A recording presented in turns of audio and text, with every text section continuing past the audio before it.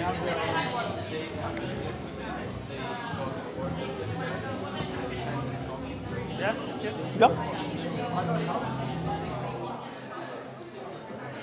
Um, good, good evening, everyone. Thank you, thank you for coming, and thanks for. We've got some special guests from the AAs. That's very nice. Thank you. You're very welcome.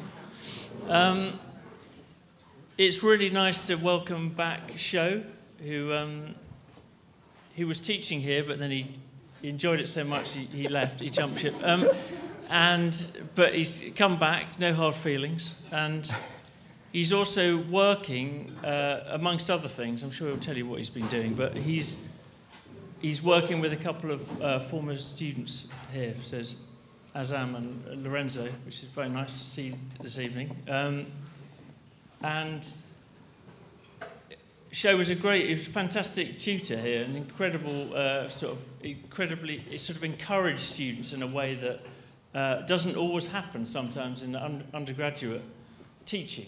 And, uh, so, and he had a kind of another level of expectation, which was really, uh, really good for the school. And um, so I hope we can continue that spirit. But it's very nice to invite you back.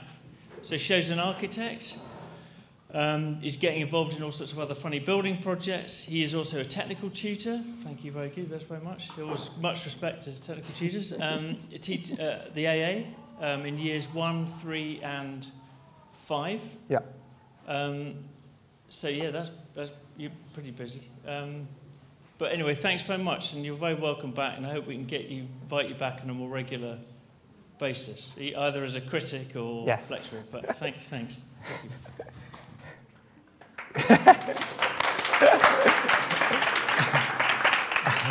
Great. Uh, thank you very much, Will. Um, it's kind of a really nice comment to hear. Uh, so yeah, I, I taught here for three years, so it's kind of nice to be back. It's nice to see some familiar faces, some ex-students, some current students. Um, so thank you very much for making the time, because I understand next week is quite busy for a lot of Westminster students and AA students, and if there's any other university students here. So thank you very much for making the time. Um, means a lot to me. So as the title suggests, I would like to talk about nature's treasures. And what that means in the context of today's lecture is natural resources on Earth, like coal, like timber, water, and oil, which are vital for us to live the way we live, and really all the benefits that we actually have as human beings. And why I want to talk about this is because there is a strong link to the climate crisis with the practice of over extraction and overutilization of natural resources by humans. And tonight, I would like to specifically talk about sand, because sand is the second most extracted natural resource on Earth that has direct spatial implications to the way we live. So, as a start, why should we even care about natural resources? So, I think we all own a smartphone now, and this presentation by Steve Jobs in 2007 was mind blowing at the time um, for those who are old enough to see it live. So, I'm not sure if, if there's enough people here that saw it live. Um, and before smartphones, for some, it might be quite nostalgic. Uh, the Nokias and the Motorola's, these kind of flip phones, and you can change the case, you can make it kind of transparent, and it was kind of strong enough that you can throw it and it wouldn't break. So to make these ancient phones and also your iPhones that are inseparable to all of us, uh, and also the house we live in, the food we eat, the clothes we wear, essentially everything in existence is linked to these resources that underpin our daily needs. So, what this inherently means is that it has a spatial, it has an architectural implication to the human habitation, and it's kind of across multiple scales from the geographical to the territorial to the room. And the concern that I'm trying to raise here is the unprecedented rate and scale of the practice. And it's not likely to stop, as the kind of film suggests. Economics has always, always been a driving factor until it crashes, obviously. And there's too much money involved to visualize the long term damage of a short term finance. So, extraction of oil is quite a good example. We've seen this year many protests by students from UCL, Oxford, and Nottingham uh, throwing orange paint to protest um, about the additional licenses that the UK government has issued. It is a very lucrative business, um, and it nurtures multi billion dollar companies like BP, like Shell, and Chevron. And this is no different to coal mining operations the high return will not stop any capitalistic corporation that has kind of a sane mind. And here you have then Prime Minister Scott Morrison. In 2018, he famously praised coal's value in a parliamentary debate around the topic of renewable energy, which is totally crazy because we all know that you know, it's the pinnacle of a non you know, renewable material, which shows Australia's dependency on coal. In UK, Margaret Thatcher established the 1989 Water Act and sold off the last remaining water uh, industry. And this was publicly owned. And we all love Coke. I love Coke. For those who know me, I drink a lot of Coke. But to make one liter of Coke, you need four liters. So companies like Coca-Cola, Nestle, Spring Valley, they extract large quantities of this seemingly common resource and exploit the global south till they run dry. And now the richest person in China isn't Jack Ma, who was the CEO of Alibaba, or CEO of TikTok owner, but Zhong Shanshan, who's literally filling up bottles of water and selling it. And obviously, being the richest man in China just by selling bottles of water is, is, means, means something, right? So I'm not obviously trying to advocate an extreme opposite way of living or telling you here not to use any resource or not to do anything like that. But I think the conversation and dialogue that I'm trying to generate and bring awareness is balance. So, how can we balance the delicate relationship between economic development and being responsible for our own planet's resource? So, this is a crude simplification, as it's obviously much more complex than what I'm about to state. But I think just come along with me.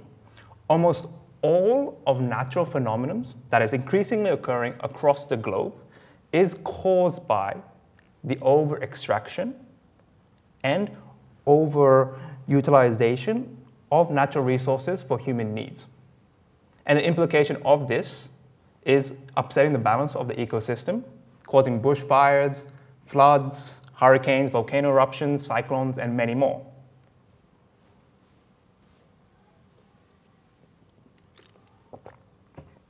So you're probably thinking, why is an architect talking about this? Why is an academic talking about this? And not a geologist or environmentalist or activist. So I guess because it has direct implication to the way we live. Hopefully you know this building, Farnsworth House by Mies, provided provision for flood risks. Therefore, it's elevated off the ground, obviously. But the worst case scenario is fluctuating at a rapid pace. It's becoming far more unpredictable and far more inconsistent. And the result is quite detrimental here. Architecture is not about designing in isolation, but to variables and contingencies that the Earth creates. And this is happening not just to the house scale, but entire cities forced to relocate, like Jakarta in Indonesia, as families are displaced in a completely new environment. And we understand this space through different platforms which highlights the danger, as we hear from professors and specialists from universities and NGOs. We hear from authors and activists, and even individuals from Hollywood, like you know, in the center, Leonardo DiCaprio. And this has obviously helped to nurture collectives, groups, and associations to actively contribute to the discussions. And although slowly, quite, quite slowly, we witness more news we witness more conversations that centers their dialogue around these immediate issues. So in light of this, I want to delve into one resource which proportionally gets much less media attention and relevant to architecture students and the profession. Sand, which sounds quite underwhelming, and you're probably thinking, why? There's probably plenty of sand, and in somewhat sense, it's true. We have always used sand as an analogy of the infinite, the limitless, and incapable of exhaustion. Scientists estimate there is 7.5 sextillion grains of sand. And to give you a rough scale of what that means architecturally, that is enough to fill 3 billion Olympic sized swimming pool. So that's, again, quite hard to imagine. But the point is that there seems to be plenty of sand, or at least sound like there is plenty. However, the misconception is that, as mentioned earlier, sand is the second most extracted natural resource on Earth after water. And it's literally used everywhere. So construction is the most obvious one. However, other less known industry is like fashion. So the stretchy fabrics that you guys are all wearing, that's made out of sand. Sand is used in the microchips, phone screen, computer screens. Sand is used to make all the essential parts of the cars and trains and planes we ride on. It's obviously used in agriculture. It's also used in fracking, where sand is used to blast the groundwork to dig deeper. Sand is used in paint. Sand is used in toothpaste. So literally everywhere. It's hard not to find something that doesn't use sand in one way or another. However, tonight I will be discussing sand use for construction purposes, as obviously it proportionally has much more impact than other industries. So, looking back, historically, the use of sand has always existed in human civilization. This photo shows a remain of an ancient settlement in Turkey and the use of sand to make bricks as early as 7000 BC. It was documented that Egyptians in 3500 BC used sand within their construction process. But I think more interestingly and notably was the first to use sand intentionally to produce jewelries and beads by melting sand. So what this indicates is that sand has always been an important resource. However, there was no detrimental I guess, concern or issue at the time due to the scale of these operations. But this radically changed from the 20th century. So this diagram illustrates the world population and growth rate. And you can see the steep curvature from the 1900s. So to paint you a picture, it took 200,000 years of modern human history to reach 1 billion in population in 1805. It reached 2 billion in 1925. And then by 2008, so one year after Steve Jobs saying, here's my Apple phone, it reached 6 billion people. And now only 15 years after 2008, it's reached 8 billion, and it's predicted to be close to 10 billion people by 2050. So what this obviously means is naturally we need more homes. We need more infrastructure. Therefore, construction had to significantly expand in the 20th century. So, unfortunately, at present, it's not possible to accurately monitor global sand use. However, the correlation between the use of sand in relation to cement is thought to be a good indicator. So this means for construction alone, so only construction, the world consumes roughly 50 billion tons of sand on an annual basis. And what that means spatially or architecturally, that is enough to build a 30 meter wall, so about 10, kind of 10 floors, which is 30 meters wide, that wraps around the entire planet once a year. So that, that's quite scary if you think about it in terms of a kind of spatial kind of context. And in terms of individual scale, according to the UN, the global demand of sand is around 18 kilogram per person per day, which is quite alarming and far exceeds the natural rate at which sand is being replenished by the weathering of rocks, by wind and water. And really, um, the concern is the unprecedented population growth in urban areas. So we're not really worried about the rural areas, but it's the urban areas that's kind of causing a lot of concern. The number of people living or moving to urban area has more than quadrupled since 1950. Here you can see how Hong Kong's peninsula completely transformed and changed in the last 50 years from what was a low rise, kind of countryside picturesque, one could say, to what we know of Hong Kong as today, um, a big concrete jungle. Here's a diagram that visually demonstrates how China has used over three times more cement in the last 10 years. So 10 years compared to America in the last 115 years.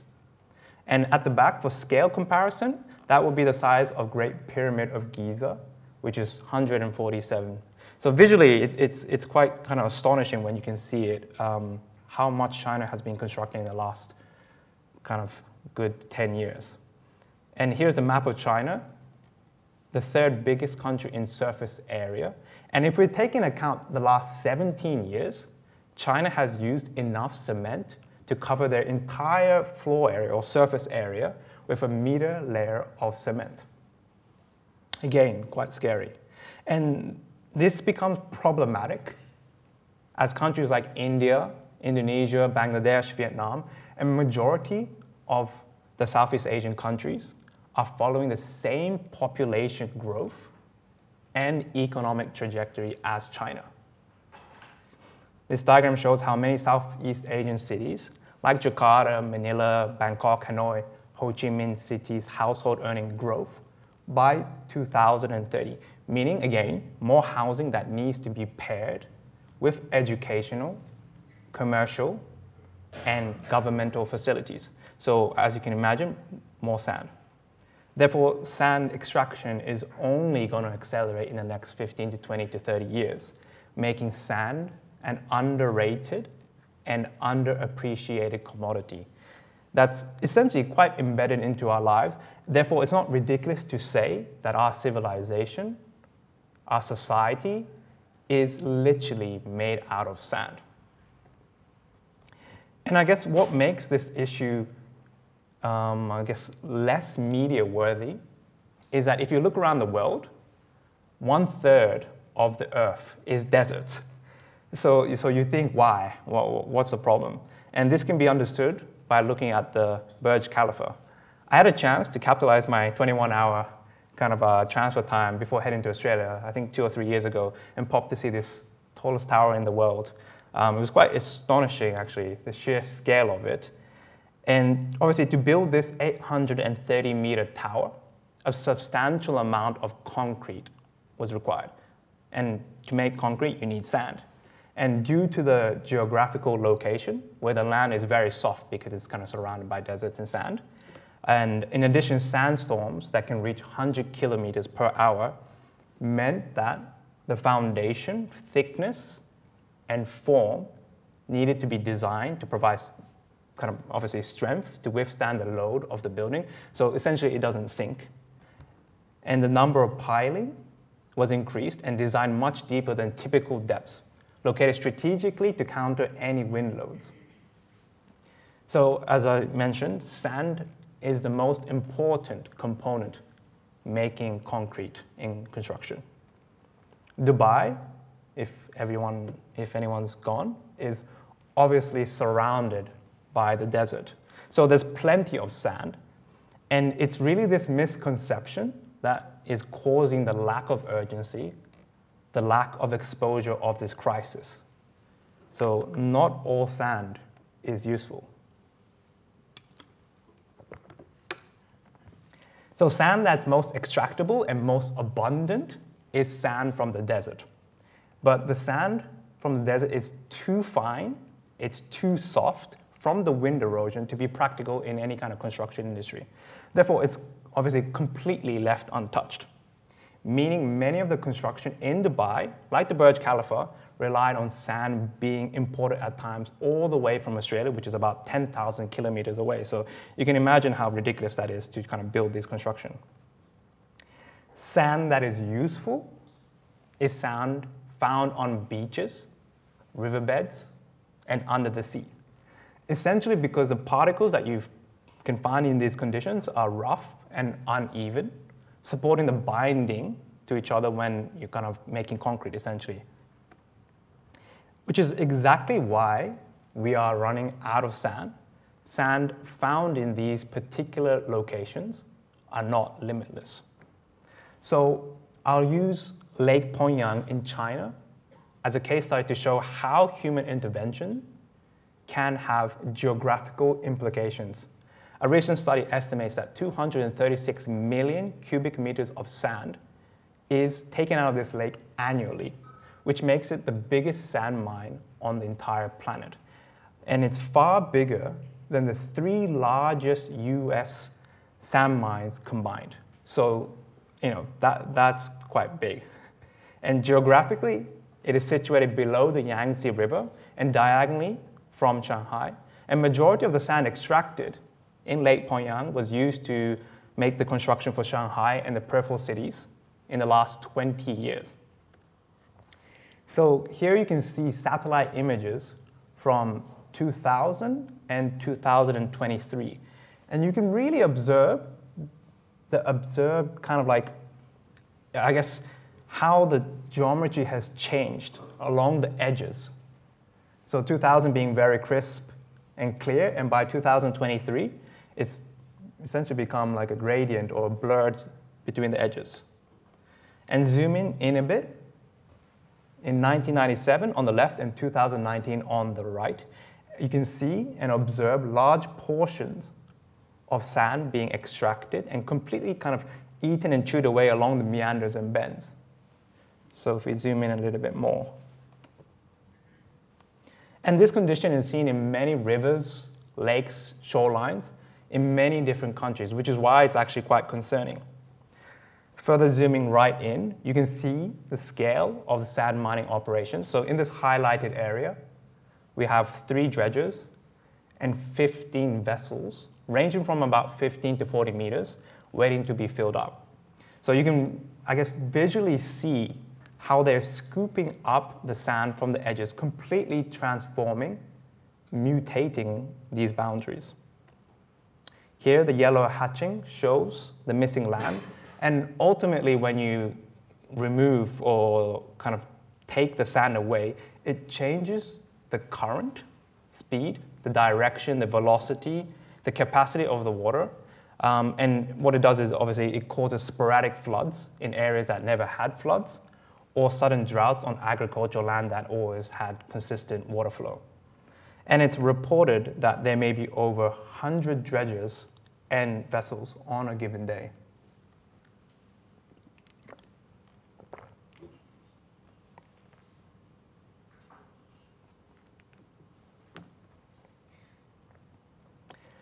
And I guess compared to other natural resources like coal and oil, where there needs to be substantial initial investments to construct infrastructure, to construct systems and procedures that are location fixed, meaning a lot of the management of this is done by large corporations who are required to obtain licenses from governments to be able to do this. However, sand extraction is much more cost efficient without the need of large scale infrastructure and is, is very flexible to the location, making it prone for illegal activity. So here's a photo where Chinese sand dredgers was obtained and detained by the Coast Guard and forced to pump sand back into the beach it stole it from. So pragmatically, how does it work? Basically, all you need is a sand dredger, and uh, it needs to have a cutter head. And this cutter head is submerged into the seabed, and it kind of rips and cuts everything in along the bed, and kind of like a blender while sucking up the sand. And then this is collected in the loading space, and then potentially transported to other locations for building material. So it, it's really a primitive and quite simple operation, which is why it's happening at an alarming rate. So again, you can see how scary and concerning this is by seeing how many dredgers and vessels are just waiting along the kind of lake and easily kind of relocatable if kind of uh, Coast Guards come.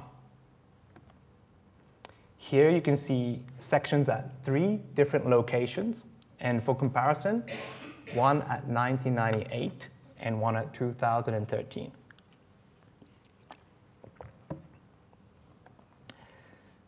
So if we take section A, you can see the substantial change that has been inflicted to the riverbed. And when you're literally digging up the bed, you're essentially killing all the current marine life and any obviously future marine life. Um, because areas that didn't get dug up essentially still ends up dying because of the murky water and all the sand that covers what's left of the marine vegetation, completely suffocating it and killing it slowly. So zooming up on section C, um, again, you can really see how the seabed is completely kind of transformed. And as with nature, it's, it's all interconnected, right? If there is no marine vegetation, the water is not naturally cleaned. Then there's no planktons. Then there's no fishes. And then there's no birds, obviously. And what's actually quite concerning about the information I'm showing you is that this is a condition in 2013. And the construction boom in China occurred and kept going until the COVID year, which is around 2020. So there is strong assumptions that the riverbed is in far worse condition than what I'm actually showing to you right now.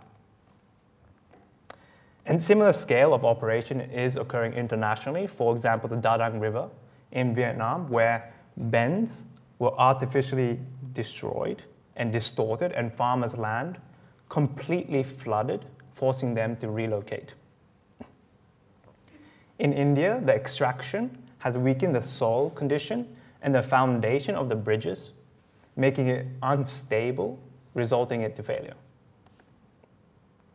Along coastline in India, you can see the transformation from 2003, which is down there, and then all the way to 2019. So, you know, these case studies shows that actually at a geographical level, territorial level, this has quite a big impact on the land mass and actually how the land is used for communities, villages, and towns and cities around these places. Obviously, it's not always rivers and lakes, but also in the sea. I'll use Matsu Island, located north of mainland Taiwan. It, highlighted at the top is on the map, and it's quite close to China, and it consists of seven islands. And due to the necessity of sand internationally, dredgers are entering into the coastline and illegally sand mining. So just to show you visually, in 2017, two vessels were spotted. Then in 2018, 71 vessels were spotted, and then 600 in 2019, and close to 4,000 dredgers was spotted in 2020. So it's quite, again, I'm trying to make, I'm trying to always trying to make it a bit visual so you can see how actually the scale of what is happening.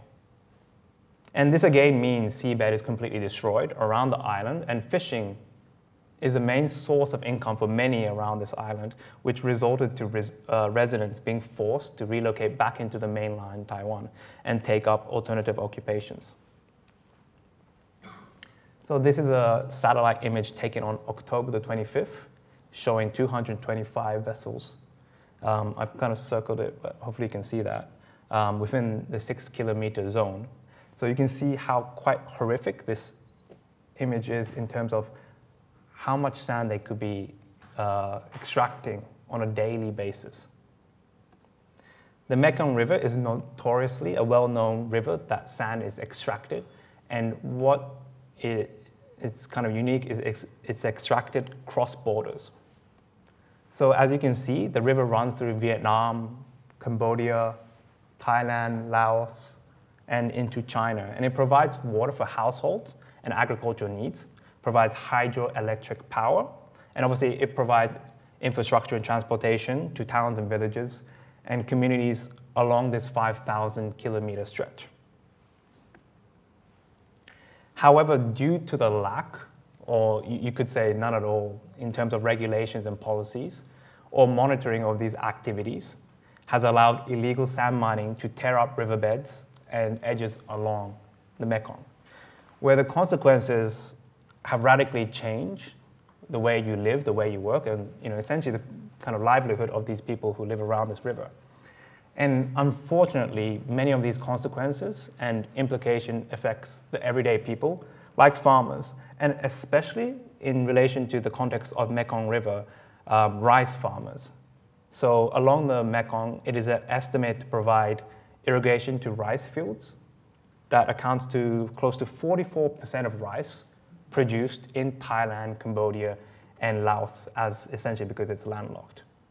It impacts the fishermen who live along the, the river, and obviously their livelihood depends on the environment to help them make a living.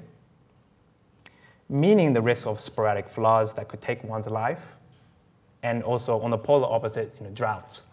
And th- this is quite life-threatening for majority of people who essentially uses these material to make a living. So the scale of the extraction operation can vary quite a lot. So you can have government-funded 50-meter dredges that rips the, seabed and vacuums the sand. Uh, and then they, you know, it's relocated to make new islands here and made uh, to make buildings, etc. And you have smaller scale dredgers and vessels for areas that are more shallower. And obviously, they are able to op- operate discreetly and run away from uh, safeguards. And you have even smaller operations using digging boats with vacuum like devices to literally suck up the sand again. And most simple, yet most dangerous methodology, which is most prevalent in India, is when individuals are literally deep diving into the river or sea or lake and scooping up sand with buckets. And still yet, mining at this scale is proportionally better paid than other labor intensive jobs um, in this kind of area.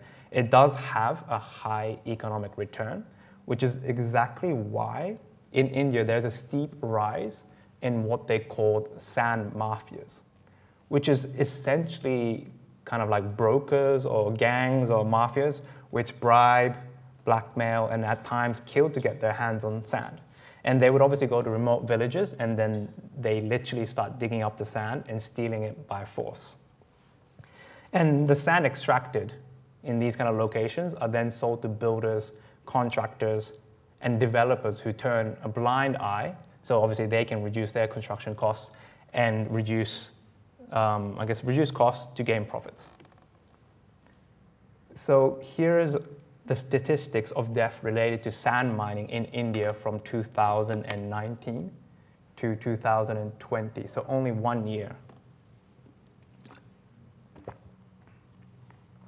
And if you look at these three columns, you can see a total of 49 civilians, farmers, reporters, government official who was killed due to links to illegal sand mining. And unlike water and oil and coal extraction, sand still seems to be quite under the radar. The ease of extraction, both physically and economically, has nurtured a legal practice in the global south where there's very limited policies to control or regulate anything. And it's, it's very concerning. But at the same time, it still happens in first world nations where you have CEO of United Airlines being fined for $24,000 for stealing sand from a public beach in Florida, Miami, to create his protective dune in front of his $6.8 million house.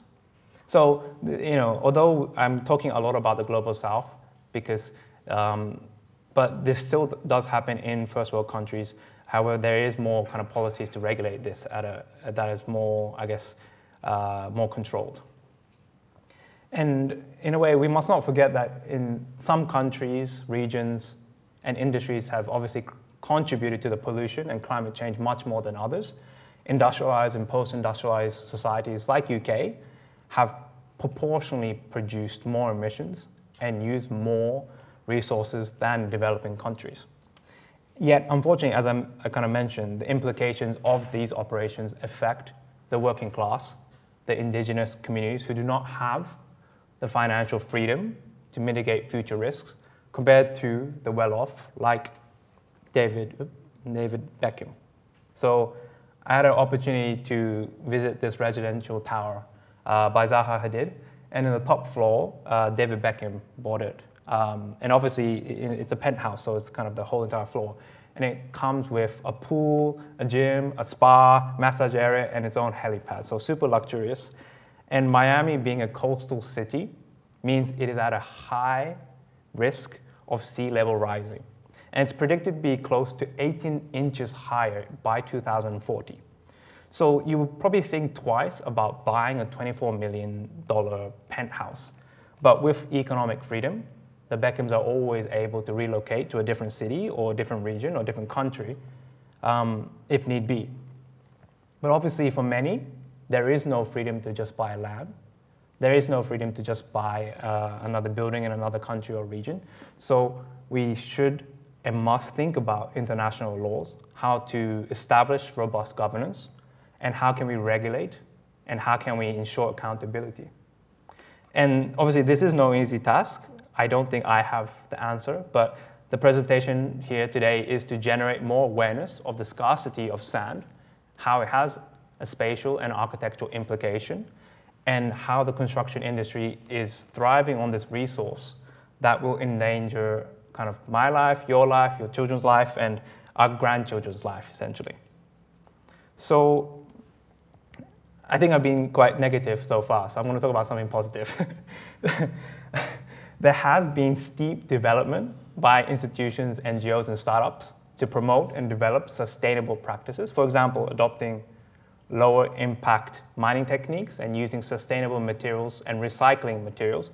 And here up on the screen, you can see post extraction procedures to ensure sites are uh, returned to its original state. So on the left is 2018, which is before, and then on the right is 2022. And you can see actually sites can be repaired. Here, an Australian firm, Horizon, which specializes in mine repair. And what they do is quite kind of fantastic. They use special products to help increase the growth of natural topsoil and establish vegetation. And this usually takes around three to five years uh, to grow what essentially is kind of a bit of a, a, lawn. And obviously, I think it's a, it's a kind of a, uh, a decade kind of process. And as you can imagine, it's, it's extremely, extremely expensive. However, now in Australia, post extraction, companies are legally bounded to economically finance and manage the recovery of this extracted site. And this is the same when repairing rivers. As you can see from the before and after, it takes incredibly long time to reinstate to its original conditions. Initially starting with the creating of a retaining wall, planting around the edges, and designing wetlands to essentially help filter the pollution. And to get the biodiversity back to its natural life cycle takes well over a decade. And this, of course, is with a series of long-term interventions and finance, which makes it almost impossible for many locations as sand extraction along the river or lakes or sea usually and commonly is done illegally. So it's quite hard to pin down accountability and you know, extract finance from gangsters and mafias. In terms of material development, there has been advancements to reduce the need to generate more concrete. For example, on the screen here, you can see what they call is self-healing concrete. So it has a capacity to repair itself, which has great potential to reduce pollution and cost for, I think, in general, because more concrete obviously produces more waste. And this particular kind of concrete is more for maintenance and repair use. So not actually trying to build buildings, but for repair. And for example, majority of the infrastructure in Japan was built in the early 50s and 60s. And it's deteriorating at a rapid pace. And a country with many earthquakes, um, which obviously means that the concrete cracks, kind of splits and fragments it, and it obviously needs to be repaired. And if you consider this at a national scale, um, it's quite a lot of repairing. So self-healing concrete can prove to be quite useful in this setting. Other materials being explored is using ore sand by repurposing sand-like materials from mine waste. So essentially using something that they would throw away, so something that's completely useless, into something that is useful. And maybe most interesting, because with a bit more time, it becomes quite realistic because it would probably be commercially viable very soon, which is what the research group from Imperial College of London is developing, which is concrete that is made from desert sand. So as mentioned, desert sand is too fine, so it, it doesn't obviously bind together as I mentioned. but the group has developed a binder agent or ingredient that allows desert sand to create concrete at the same strength as a typical concrete and have only half the carbon footprint. So I think there are many ways that we can try to deal with this condition, and there will probably be a lot more creative ways to combat, combat these problems. But sometimes it's quite hard for us to imagine how this directly impacts us uh, because it's very slow. And sometimes you can't even see that it's happening, and then 10 years down the line, you kind of notice that uh, things are getting expensive, etc. So just so I can paint you a picture, so it's at the back of your mind. The next holiday you book, you know, whether it's uh, Caribbean, you know, Maldives or Italy or somewhere with a nice beach, and you get there, and there's no beach. I, I think we can all agree that we should try to uh, prevent this. So uh, finally, I would like to finish the presentation zooming out a bit, which is framing it around carbon footprint. Um, and we use this word a lot, I think, these days. Um, but I, I, thought, I thought it was kind of nice to kind of end with this. Um, and it was first used in a BBC magazine in 1999. However, the broader idea and concept regarding environmental footprint have been used since the, kind of at least the 60s. And in 1971, an ad, a kind of US ad went viral depicting a Native American Indian man shedding tears because his world was polluted by trash, plastic bottles, and rubbish. And this ad kind of won many awards, and the catchline or catchphrase they were trying to promote was people start pollution, people can stop it. And what this was trying to do was suggesting that it is an individual issue, that there's plastic waste everywhere. What's lesser known is that the nonprofit group Keep America Beautiful, who directed this very ad, is funded by the beverage and packaging company pumping out the billions of plastic bottles each year. The likes of Coca Cola and Pepsi and many more. And obviously, it was a marketing strategy to manipulate the responsibility to the consumer. In 2005, advertisement company Ogilvy worked with BP to popularize and promote that climate change is not the fault of an oil giant, but that of individuals. So obviously what they knew is that they knew the future risks of the backlash of the operation, therefore scripted and developed a story to place responsibility on the individual consumer by developing its own carbon footprint calculator in 2005. And we see this carbon footprint calculator a lot these days, but making it in 2005 was quite radical. And you know, it, it does essentially the same thing. You can calculate your normal daily life, how much you, you know, what you do for work, buying food, traveling, and basically all that is kind of responsible for heating the globe. And by doing this, they strategically assign the responsibility for climate impact to the individual. Also, you know, at the same time, they generate a nice corporate image that they seem to be appearing to do something about it. So in the UK, the support of Ogilvy ran ads again, asking Londoners to, and asking questions like, do you worry about climate change?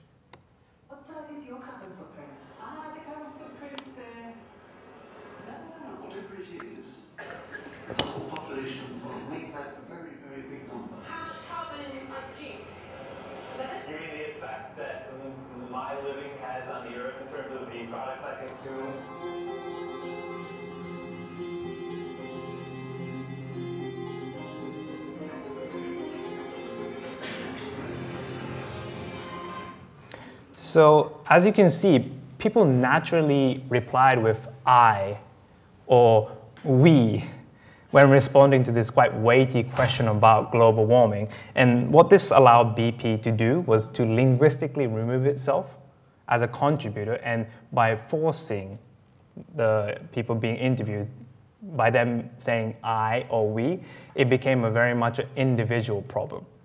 So obviously, I think instead of shifting responsibility to the individual and taxing consumption, which is us, this should be placed on production. For example, uh, in the sugar tax in the UK, what could have been a quite a radical policy to tax companies. However, the downfall or shortfall of this very policy was that companies could easily brush off and costs to be offloaded to the consumers. Now you can buy decarbonized, carbon neutral, with its own climate scores. But obviously, the cost to decarbonize these products is solely placed on the consumer. We can now offset the carbon by paying additional when buying plane tickets. So I think we've all seen this, so that the aviation industry can offload costs to help fund their transition away from the reliance of polluting fossil fuels to clean energy. Again, the responsibility is completely and purely on the individual consumer, which is me and you. And Matt Gorman, the cha- chair of Sustainable Aviation and senior Heathrow executive, publicly stated as an industry, we have always supported the idea that polluter pays. Ultimately, passengers should pay the carbon cost of travel, which completely kind of indicates that there's no fault on the corporation side and only fault on the consumer.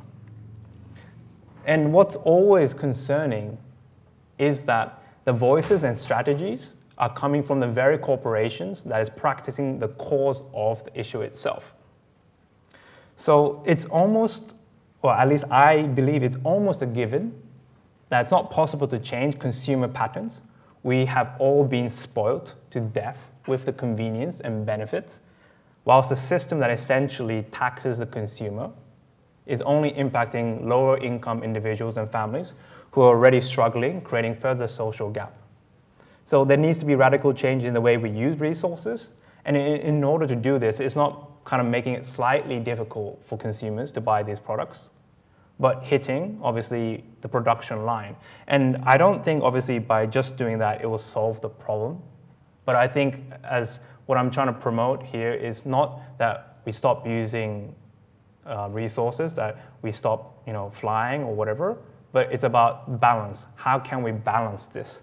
And the balance between production and environment, meaning using less sand, which means we can all enjoy a beach holiday.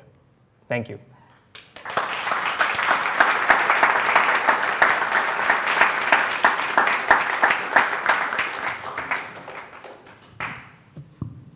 Thank you very much, Ed. Would you take some questions?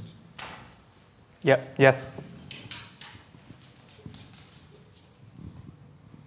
Yes, Neil.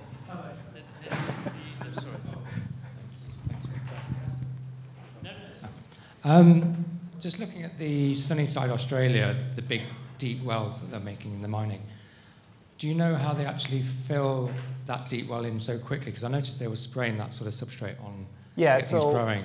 Um, with those, they usually use desert sand. So obviously, you can't construct with desert sand, but you can use desert sand to fill these holes. So obviously, Australia, uh, you know, a lot of the, the land is desert. So what they do is they relocate some of the deserts, and what they do is obviously not steal it or not, not take it from one location, but they spread it out. So it's kind of managed on a national scale and also on a state level. Um, so obviously, it's not to kind of like hinder and uh, kind of impact one specific location, but so it's spread out I essentially. was wondering if it's sort of it's taken it's not really doing any good in some respects. It's just relocating circle. Yeah, it is. It, it essentially is. But I, I guess I, I guess Australia can do it is because I think you know um, I think almost like 75% of the land is kind of desert. Um, don't quote me. I don't know 100%, but I remember last time I checked, which was like six years ago, that was the case.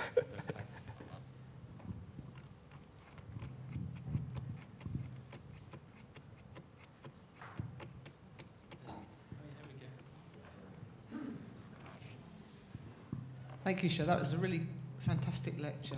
Um, I've got two questions, and I'm, will I be able to remember them long enough to say what they are? The first one is to do with, you, you know, that you showed a slide of the, the seriously dry sand that surrounds Dubai, Mhm. that part of the world.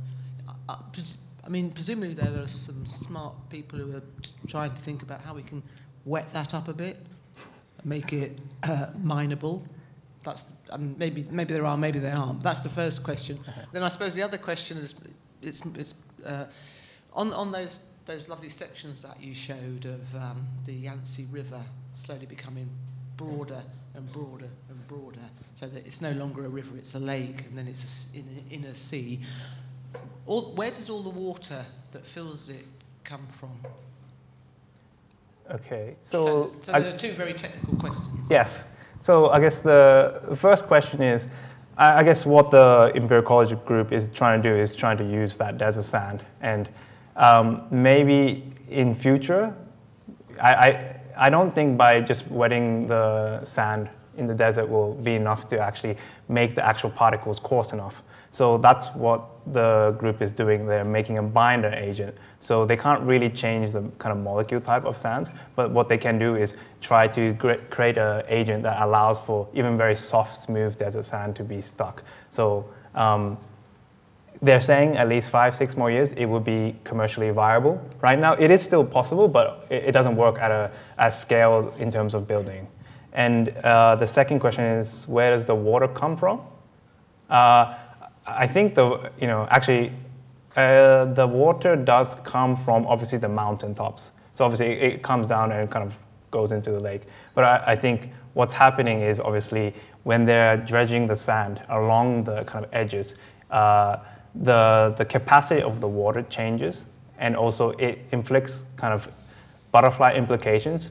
And then where the water was streaming down into the lake is kind of diversified and sometimes go to different areas. That's why, in a way, the water um, capacity reduces. And obviously, this has kind of implications on a butterfly effect of fishes and birds and essentially how it might be used to irrigate the kind of agricultural land around the lake. Sorry, did that? and I'm not sure if that answered your question properly, but. Do you know of? Uh, Uh, uh, I, oh, I'm just waiting. yeah, no, it's, it's more for everyone to For hear. everyone to hear. Yeah. Um, do you know of ways of sort of when a building has reached its the end of its life of recycling that sort of concrete and cement, turning it back into sort of usable construction Mm. material like a sand like, which then gets mixed back into concrete and Yeah. sort of recycled, so you're not mining new sand all the time, but, the recycling used. Unfortunately, a lot of the times the, the concrete is not kind of recyclable. Um, it- there's only small portions of it, so it takes actually more cost to go through the rubble and control the deconstruction to use and recycle. That's why, in general, it, it doesn't get recycled, and it's just far more easier just building it from top. So, just like with anything, I think if the economics balances out, more people will be prone of recycling because it outweighs maybe cost or time. Um, but I think these are the kind of things that would be nice because what I'm trying to do actually in this kind of presentation is generate awareness. And by the time you students and some professionals here go out and you know designs buildings, bridges, infrastructures, that you're conscious about how you can actually potentially propose a way of recycling or reducing the material. And I don't, I'm not advocating like you know don't build, but I think you know build smart. You know.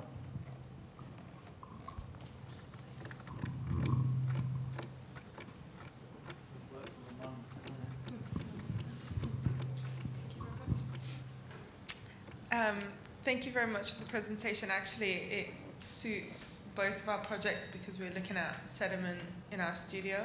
I'm just wondering if you've ever seen a video of um, these people who basically collected all glass bottles, crushed them down, and tried to build salt marshes using glass because they're sort of trying to go backwards in Mhm. time to convert glass into sand. And I'm just wondering what you think of that. I'm, I'm, I mean, I haven't provided enough information, but essentially what they've done is Yeah. is crushed glass and try to sort of go backwards a step to try to rebuild, I guess, reconstruct sand so it Mm. becomes a usable sort of product to create something like salt marshes. Because I've seen, you know, they've used hair to collect oils from Yeah. salt marshes, stuff like that. So, what do you think about these sort of like niche products that are trying to tackle a bigger problem, but they essentially probably use a lot more energy to crush the glass and uh, to collect hair and to Yeah. process it and all of those other products because they've done that so many times with even like 3D printing, um, you know, uh, I guess like uh, stuff to put under the sea and stuff like that. So, what do you think about these uh, people or companies that try to create these niche products? And do you ever see that actually becoming something that is viable, or is it more for uh, views and TikToks? Um, no, I, obviously, as you mentioned, there's so many different people trying to use different products, and it will always be not viable at the start. I think you know it, it just doesn't work out. As you said, it takes more energy, it takes more effort crushing it. Um, and I think in general, I think everyone everyone kind of knows that that it's not really viable at that scale. But obviously, unless you start something, you know, uh, unless you kind of develop it five years, ten years later, that's I think when it becomes kind of viable in terms of scalability. Um, because if we stop everything in terms of if it's providing product, uh, uh, providing uh, enough kind of what you needed to do to do at this point right now, then everyone would be doing it. So I think it, there is a beauty and there, there's importance that people are actually developing and trying to do different things, even though it might not seem like it works out right now. Um, and I, uh, you know, the, the example I showed you was, you know, they started doing it about six, seven years ago, and it, it does take that long time to actually develop materials that is scalable and economically kind of like capable of being used in the construction industry. So personally, I don't think it's, um, uh, it's yeah, it's, it's something that could actually be developed in kind of academic setting, doing it in very small scale, and in a way having an educated prediction that in 10 years time with the technology with enough kind of support finance uh, actually it can be something that is scalable so that's why i think actually you know some of the things that my students were doing last year and two years ago you know although in an academic setting you know it, it, it, it's still academic but then there are moments that are scalable so you know i think there's a kind of beauty in doing that in whichever unit you're in i'm sorry i don't know which one you're in but And masters. okay Thank you.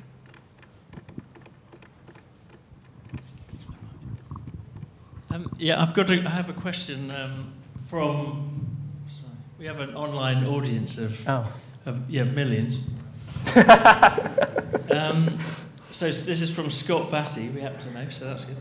Um, does this situation lead to timber being the best no sand, lowest carbon construction solution?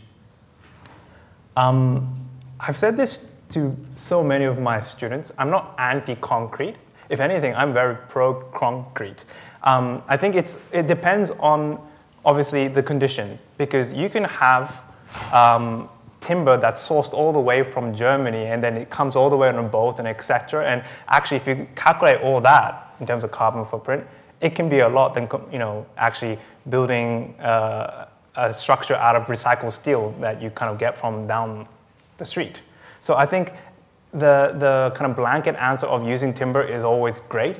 I personally is uh, I'm not a big fan of, but if you are positioning yourself in terms of like if timber is the best, where do you source it, how do you maintain it, and how do you actually calculate it is kind of important. So I, I personally wouldn't just say okay, timber is the kind of go-to material. But if anything in academia, I would love to see students using concrete, but using it very smartly and creatively. Um, there's lots of kind of um, methods to reduce the slab um, thickness by using a kind of, uh, I guess, a voltage system, so you can re- really reduce the concrete mass. So I think there's different design and technical kind of challenges that might help to reduce concrete than saying, okay, let's just use timber because obviously it's a natural material, so everyone's happy. But um, I, I think there's something to kind of question about that.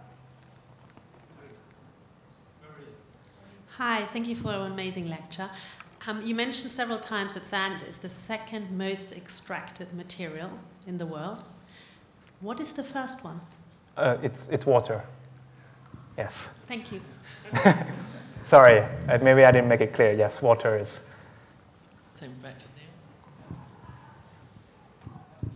Hi, Sherry. Sorry, it's less of a question, but you know, on the global population graph, it seems like we're hitting the peak pretty soon, or we're almost there.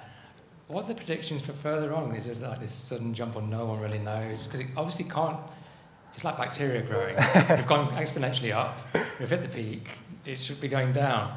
And it's not really a question for you, but Yeah. something to think about.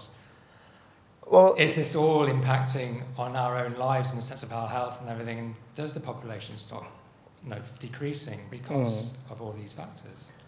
Yeah, obviously, you know, I'm not a specialist in kind of population and demographic, but you know, my best get is, you know, I'm, I'm, I'm ethnically Japanese, and obviously our population growth is reducing a lot per year. Um, so I, I think potentially there will be some nations, some kind of ethnicity or some areas that will boom, and other that will reduce in population because uh, it's just shrinking. So in a way, like Japan is a kind of good example because Tokyo is booming with lots of people, but everything else around that periphery is kind of like reducing like crazy. So in a way, if you scale that into kind of world scale, there will be most probably particular nations, particular areas that have a boom, and then there will be other countries that will probably, uh, I guess, reduce in population, or at least they migrate into one location. Um, but yeah, uh, th- that's just my opinion. So um, yeah, please don't quote me on that. Think it's to do with. I think it's birth rate. I don't. I think it's not to do with environmental conditions so much. But anyway, um, look, th- that was a fantastic presentation, and thanks so much. And I, I, Gabriel asked the question that I, which was about turning stuff into concrete, and and can you turn it? You know, is that a one trick? We're told that's irreversible, but of Mm. course, it, I don't. It sort of isn't actually. You could probably get the sand out eventually. So, Mm.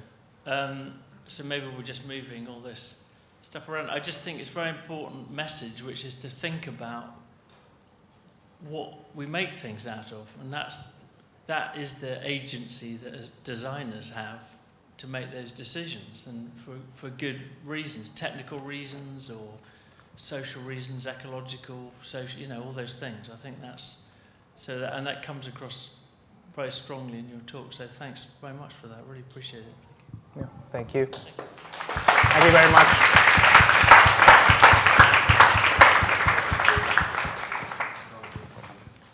Thank you. Have a nice evening.